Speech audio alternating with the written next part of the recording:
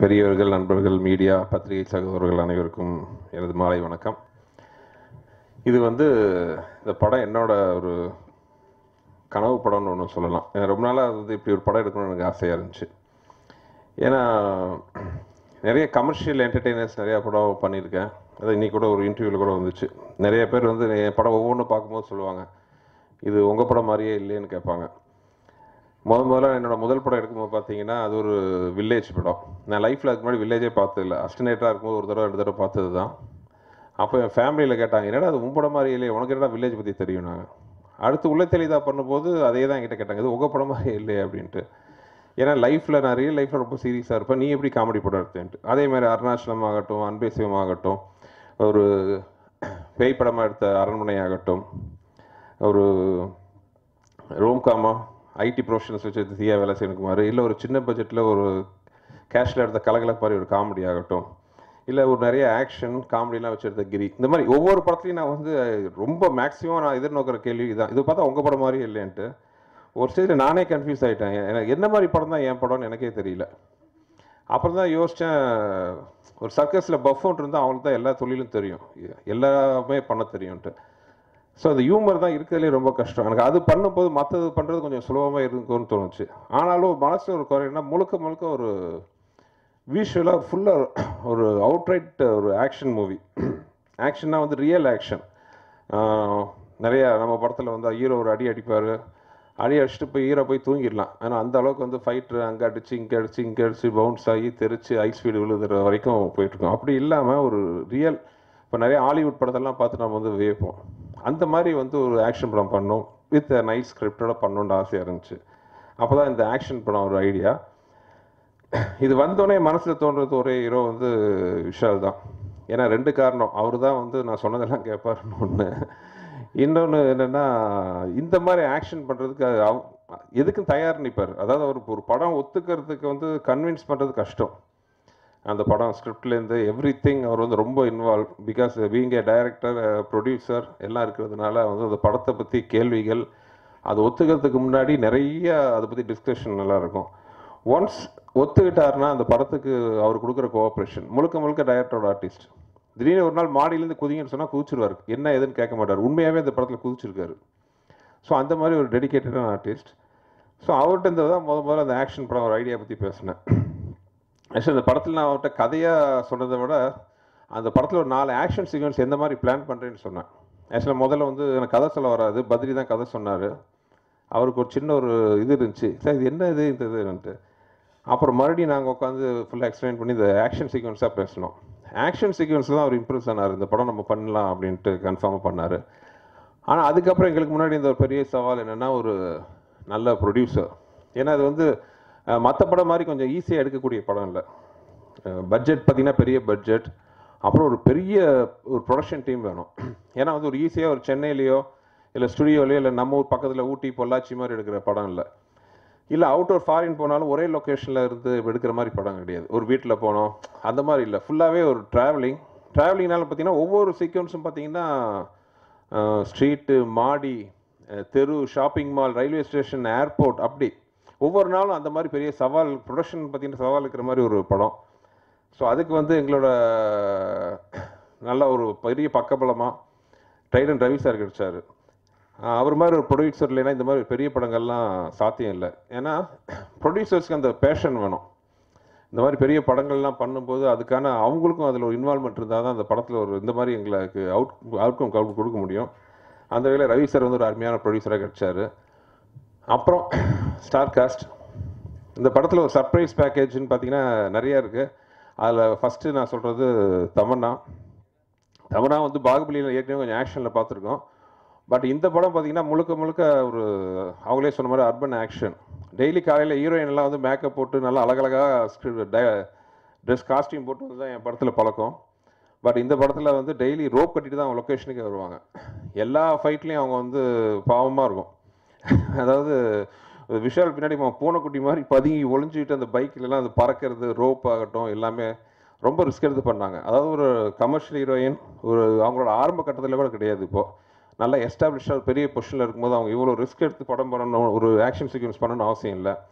ஈஸியாக சொல்லிட்டு போகலாம் சார் இந்த மாதிரி இந்த சீனில் டூ பண்ணிக்கலான்ட்டு. அப்படி இல்லாமல் வந்து ரொம்ப அவங்க இன்வால்வ் ஆகி ஆக்சுவலாக அந்த படத்தோட செகண்ட் ஹாஃப் பார்த்தீங்கன்னா ரொம்ப ஆச்சரியமாக இருக்கும். அவங்க தமன்னாவோட ஒர்க் நீங்கள் பார்க்கும்போது. ரொம்ப பிரமாதமான ஒரு ஆக்ஷன் ஹீரோயின் இது வரைக்கும் தமன்னா வந்து ஓகே பாகுபலி சில படங்களில் பண்ணியிருந்தாலும் இந்த படத்தில் பண்ண மாதிரி ஆக்ஷன் வந்து எதுலேயும் பண்ணியிருக்க மாட்டாங்கன்னு நினைக்கிறேன். வேறு எந்த ஹீரோயினும் பண்ணியிருப்பாங்களே எனக்கு டவுட்டு அந்தளவுக்கு பெருசாக பண்ணியிருக்காங்க அவங்க கோஆப்ரேஷனுக்கு ரொம்ப தேங்க்ஸ் தமன்னா. அப்புறம் இந்த படத்தில் எங்களுக்கு கேஸ்டிங்கில் ரொம்ப சவாலாக இருந்த இன்னொரு விஷயம் என்னென்னா ஒரு மெயின் கேரக்டர் வராங்க. அவங்களுக்கு அவங்க என்னென்னா எனக்கு கிட்டத்தட்ட எப்படி வேணும்னா ஒரு லேடி விஷால் மாதிரி வேணும்னு வச்சுக்கலாம். விஷால் மாதிரி நல்லா ஒரு ம நம்ம நல்லா லோக்கல் பாஷையில் பேசுகிறதா நல்ல ஒரு மசக்கட்டையாக இருக்கணும் ஆட்டாக இருக்கணும். அதே நேரத்தில் ஆக்ஷன் வந்து அவர் அளவுக்கு போடணும். ஆனால் பார்க்கறதுக்கு ஆடியன்ஸும் பிடிச்ச மாதிரி இருக்கணும். ஸோ அந்த மாதிரி ஏன்னா அவங்கள வந்து அவங்களே சொன்னாங்க. ஒரு அந்த படத்தில் அவங்க லேடி கேரக்டர் இல்லை. அவங்க வந்து ஒரு ஆம்பளை மாதிரி ஒரு கேரக்டர் இதுக்கு தான் நாங்கள் ரொம்ப கஷ்டப்பட்டோம். ஒரு ஆர்டிஸ்ட்டு ஃபைனல் பண்ணுறதுக்கு அப்போ சன் டிவி ஃபங்க்ஷனில் ஒரு நாள் ஒரு ஃபங்க்ஷனுக்கு போயிருந்தபோது பக்கத்தில் ஒரு ஆர்டிஸ்ட் உட்காந்தாங்க நான் நினச்ச மாதிரி எப்படி விஷால் ஒரு லேடி கெட்டப்பில் இருந்தால் எப்படி இருப்பாங்க? அந்த மாதிரியே இருந்தாங்க. யாருன்னு விசாரித்த போது விநாயகர் சீரியலில் பார்வதி கேரக்டர் பண்ணியிருக்காங்கண்ணா ஓகே அப்போ ஆல்ரெடி நிறைய அதில் ரோப்பில் தொங்கியிருக்காங்க. நல்லா இருக்கட்டும். அப்படி ஃபைனல் ஆனவங்க தான் Akansha Puri one of the அவ்வளோ ஒரு கோஆப்ரேட்டிவ் ஆர்டிஸ்ட் வேறு எந்த ஆர்டிஸ்ட்டாக இருந்தாலும் வந்து இப்படியெல்லாம் வந்து கஷ்டப்பட்டுக்க மாட்டாங்க. டெய்லி அது தமனாவாகட்டும் அகான்ஷாவாகட்டும் டெய்லி கையில் காலில் வந்து காயத்தோடு தான் போவாங்க. டெய்லி வந்து அழுவாங்க. சார் இங்கே காயம் பட்டிருக்கு இங்கே காயம் பட்டிருக்குன்ட்டு நான் என்ன சொல்ல முடியும்? இதெல்லாம் ஜுஜிபி நாளைக்கு சரியாக போயிடும்னு சொல்லி சொல்லி ஒர்க் பண்ணோம். எக்ஸ்ட்ரீம் கண்டிஷன்ஸ் இப்போ அது ஒரு நாள் பார்த்தீங்கன்னா பயங்கர வெயிலாக கொதிக்கும். அடுத்த நாள் பனி. இன்றைக்கி நாங்கள் ஷூட் பண்ணிட்டு இருப்போம். காலையில் ஏழு மணிக்கு மேனேஜர் ஃபோன் பண்ணுவார். சார் இன்றைக்கி என்ன பண்ணுறதுங்க பாரு. ஏங்க அதான் ஷூட் சொல்லிட்டு நான் ப்ரோக்ராமில் என்ன இல்லை கொஞ்சம் ஜன்னல் திறந்து பாருங்கள் ஜன்னல் திறந்து பார்த்தா முதல் நாள் பாலைவனமாக அந்த லொக்கேஷன் இன்றைக்கி பார்த்தீங்கன்னா ஃபுல்லாக பனியாக இருக்கும். ஸோ அதுலேயும் ஷூட் பண்ணுவோம். மைனஸ் டென் டிகிரிலையும் ஷூட் பண்ணோம். கிட்டத்தட்ட ஃபார்ட்டி ஃபைவ் டிகிரிஸ் அந்த லெவல்லையும் வெயிலையும் ஷூட் பண்ணோம். ஆக்சுவலாக தமன்னா வந்து இதில் ஒரு ஷார்ட் வரும். ட்ரைலரில் பார்த்துருப்பீங்க. ஒரு க்ரீன் ஒரு க்ரீன் ட்ரெஸ்ஸில் வருவாங்க. அது பார்த்தீங்கன்னா ஃபுல்லாக ஒரு ஸ்னோ மாதிரி இருக்கும். ஆக்சுவலாக ஸ்லோ இல்லை டைல்ஸ் அது. இந்த கொதிக்கும் அந்த தரையெல்லாம். கிட்டத்தட்ட அது ஷூட் பண்ணும்போது நாற்பது நாற்பத்தி ரெண்டு டிகிரி ஸோ இந்த மாதிரி எல்லாமே ரொம்ப கஷ்டப்பட்டு பண்ண இது. அப்புறம் இன்னொரு முக்கியமான ஹீரோயின் பார்த்தீங்கன்னா ஐஸ்வர்யா லட்சுமி துரதிருஷ்டமாக அவங்களால வர முடியல ஆக்சுவலாக லண்டன்லேருந்து அவசரமாக ஃப்ளைட் பிடிச்சி இங்கே அந்த இதுக்கு ஃபங்க்ஷனுக்கு வரணும்னு ட்ரை பண்ணாங்க. ஃப்ளைட் கொஞ்சம் மிஸ் ஆயிடுச்சு மலையாளத்தில் ஒரு லக்கி ஹீரோயின் கண்டினியூஸாக நடித்த படம் எல்லாமே இட்டு இந்த படத்தில் வந்து ஃபஸ்ட் ஹாஃபில் வந்து அவங்க தான் ஒரு முக்கியமான ஒரு ஹீரோயின் ஃபஸ்ட் ஹாஃபில் வரும். ஏன்னா இந்த படத்தில் வந்து ஹீரோ வந்து மூணு ஃபேஸ் கிராஸ் பண்ணுவார். ஒவ்வொரு ஃபேஸ்லேயும் வந்து ஒவ்வொரு ஒரு பெண்ணை கிராஸ் பண்ணுற மாதிரி ஒரு கதை. அதில் வந்து ஃபஸ்ட்டு வர்றது வந்து ஐஸ்வர்யா லட்சுமி ரொம்ப ஒரு லக்கி ஹீரோயின் மலையாளத்தில் அவங்க நடித்த எல்லா படமும் பார்த்திங்கன்னா இட்டு அவங்க தமிழில் வந்து முதல் படமாக ஆக்ஷனில் நடிச்சிருக்காங்க. ஸோ அது எங்களுக்கு ஒரு சந்தோஷம். இப்போ வந்து கார்த்திக் சுப்ராஜ் இயக்கத்தில் தனுஷ் படத்துக்காக லண்டன் போனாங்க. அதனால் வர முடியல. ஒரு அருமையான ஆர்டிஸ்ட் வந்து தமிழுக்கு வந்து இந்த படத்து மூலம் அவர் வந்து கிடச்சிருக்காங்கன்னு நினைக்கிறேன். அப்புறம் இன்னொரு முக்கியமான ஆர்டிஸ்ட் வந்து சாயா சிங். ஆக்சுவலாக ரொம்ப ஒரு கண்ணியமான ஒரு கேரக்டர் அவங்க வர்ற ஃபுட்டேஜ் ரொம்ப கம்மியாக இருந்தாலும் அவங்கள எல்லாருக்கும் பிடிக்கிற மாதிரி ஒரு கேரக்டராக வேணும் அது. அவங்கள பார்த்தாலே வந்து லட்சுமிகரமாக வந்து ரொம்ப ஒரு ஒரு பரிதாபம் வரணும் அவங்க மேலே அன்பு வரணும் பாசம் வரணும் அந்த மாதிரி ஒரு கேரக்டர் சில சமயம் இந்த மாதிரி கேரக்டருக்கு தான் வந்து ரொம்ப கஷ்டப்படுவோம் ஆர்டிஸ்ட் கரெக்டாக அமையறதுக்கு. அப்போ தான் சாயா சிங் வந்தாங்க. எனக்கு சின்ன டவுட்டாக இருந்துச்சு இந்த கேரக்டர் அவங்க பண்ணுவாங்களான்ட்டு. அப்புறம் பேசினா ரொம்ப சந்த இந்த அழகான ஸ்ரீப்பரை ஒத்துக்கிட்டாங்க. டெஃபினட்டாக பண்ண பண்ணணும் sir I love to do this மூவின்ட்டு அவங்க பண்ணாங்க. அப்புறம் காமெடின்னு பார்த்தீங்கன்னா ஆக்சுவலாக ஆக்ஷன் படம் டைட்டில் இருந்தாலும் இந்த படத்தில் எல்லாமே கமர்ஷியல் ஐட்டம் எல்லாமே இருக்குது அது ஹியூமர் ஆகட்டும் சென்டிமெண்ட் ஆகட்டும் ரொமான்ஸ் ஆகட்டும் நல்ல அருமையான பாடல்கள் ஆகட்டும் எல்லாமே இருக்குது ஏன்னா என் படத்தில் எனக்கு தெரிஞ்சோ தெரியாமல் எங்களோட ஒட்டிகிட்டு இருக்கிற டேக் பார்த்தீங்கன்னா அந்த ஹியூமருங்கிற ஒரு விஷயம். ஸோ ஹியூமர் கொஞ்சம் எதிர்பார்ப்பாங்க ரொம்பவே.